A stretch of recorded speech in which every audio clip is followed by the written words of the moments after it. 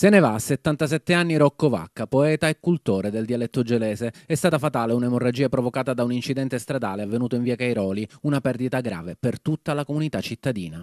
L'incidente nel primo pomeriggio di ieri, Vacca usciva dall'appartamento della sorella che va, andava a trovare praticamente ogni pomeriggio, si è trovato di fronte a una Smart che ha frenato bruscamente, Vacca eh, vedendo la macchina ferma ha attraversato la strada, che cosa sia successo dopo non si sa, la macchina di fatto è ripartito e l'ha investito in pieno.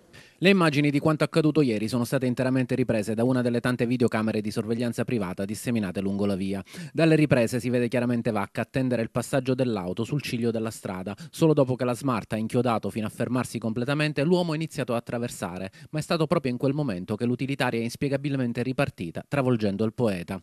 Il guidatore ha immediatamente chiamato i soccorsi, ma Vacca purtroppo è arrivato in ospedale già in coma. Fatale l'impatto con l'asfalto sul quale l'uomo ha sbattuto violentemente la nuca. In serata è arrivato il decesso successo. Le immagini della videosorveglianza sono adesso al vaglio dei carabinieri. La salma del poeta gelese invece è rimasta a disposizione del magistrato per l'autopsia, sospesi pertanto i funerali che avrebbero dovuto svolgersi domani a San Giacomo. Uomo d'altri tempi, Rocco Vacca era stato un dirigente sindacale della CISL e della Uniat Will, oltre ad aver guidato il SUNIA, il sindacato degli inquilini. In pensione aveva dedicato ancora maggior tempo alla sua passione, quella delle poesie in vernacolo. Difficile ritrovare qualcun altro che amasse così tanto la sua città e ne conservasse la memoria al suo particolare dialetto. Pino Cannizzaro, creatore del Parco Gela in Miniatura in via Salonicco, che aveva dedicato un angolo alle poesie del Rocco, ha voluto ricordarlo così, raccontando il suo ultimo sogno, la creazione di un comitato per la riapertura e la valorizzazione del Parco delle Rimembranze.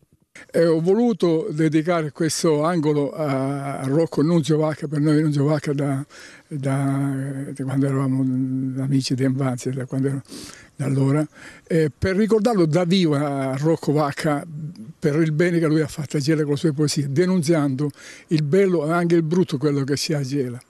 Delle, avevamo pure pensato, penso un po', di creare un comitato apposta per la riapertura del Parco delle Rimembranze perché non è possibile che il Parco delle Membranze, dove c'è la storia di Gela, sono, sono lì, i, cimeli di, di Gela Antica e Gela Greca vengono chiusi al pubblico da tanti anni, che nessuna amministrazione ha mai voluto prendere atto. Quindi ho voluto dedicare queste poesie, questo angolino qua proprio a Rocco, eh, da vivo, non da morto. Noi lo avevamo intervistato il 5 marzo dello scorso anno in un reportage di Trincee e come al solito ci aveva donato uno dei suoi libri, Amurichi d'una Frutti, il libro sul convitto Pignatelli che oggi assume un valore ancora più affettivo. Vulari Sensali, Linzola Stinnuti, Cose di Gela, Scruscio d'Amuri, Canascio sono alcune delle sue antologie diverse in vernacolo. Aveva creato anche il sillabario, raccolta di 3.000 vocaboli gelesi tradotti in italiano. In tutti i suoi scritti un unico filo conduttore, il profondo amore per la sua città, con le sue bellezze e le sue contraddizioni. Tant'anni fa un amico mio mi dice c'è meglio di viaggio dal paese. Sembra ingazzato per 12 mesi, ma le vostre facce sono sempre felici.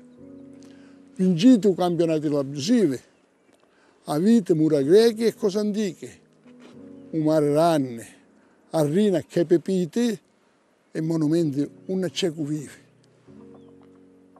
Poi ci ho passato un nuovo tempo che resta con gloria per cui vive. Ma viaggi non trovate più piacere e abbandonato tutto malo tempo. Tutti a parlare sempre con tristezza e sopra loro ci abbiate ammizza.